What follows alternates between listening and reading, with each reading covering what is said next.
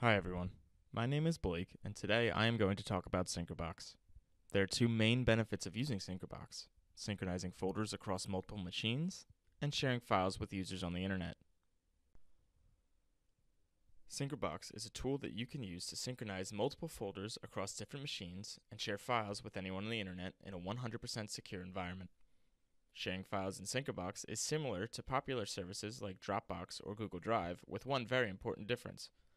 With Syncribox, your files will never go to any third party network, meaning the recipient will be able to download it directly from the Syncrify server running inside your network, and therefore there are no privacy concerns. Syncribox also has a high ROI, as there are no user limits, no data or transfer limits, and no additional costs, as Syncribox is free with every license of Syncrify. Syncribox features immediate automatic synchronization of files, and no scheduling is required. There is minimal configuration needed to operate Syncribox, simply your Syncrify server URL and a valid username and password. One of the most important philosophies in designing Syncribox is security. And as for security, Syncribox features auto encryption with unique system generated keys, ensuring your data is secure. Syncribox also allows you to send or receive files from anyone, regardless if they own Syncribox or not. So let's jump into a demo of how to use it. Once Syncribox is installed, it will automatically start itself and place an icon in your task tray. You can open the configuration by going to your task tray, right clicking on this icon, and selecting Configure. Once Syncribox has opened, you will need to specify your Syncrify server URL, as well as a valid username and password. After you have entered in your information, click Test, and if everything is correct, you should see this pop up confirming that the test was successful.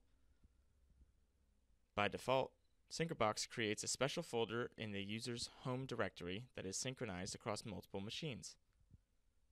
You can add additional folders by dragging and dropping them here. This concludes the section on configuration for synchronization. Next, we will talk about Syncribox's biggest feature, which is sending files to anyone on the internet. To send files or folders to someone, open the task tray and right click on the Syncribox logo and select Send Receive Files. The recipient does not need to own Syncribox or Syncrify and only needs a valid email address.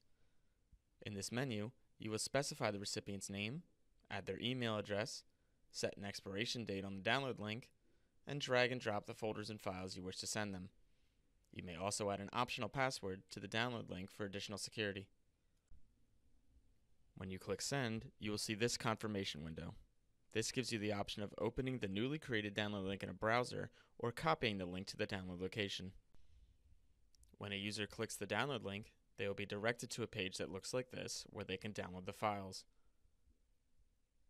When a user downloads the files, you will receive an email with a confirmation. This concludes our Syncribox tutorial video.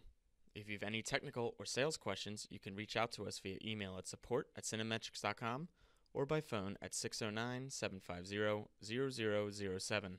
Thank you.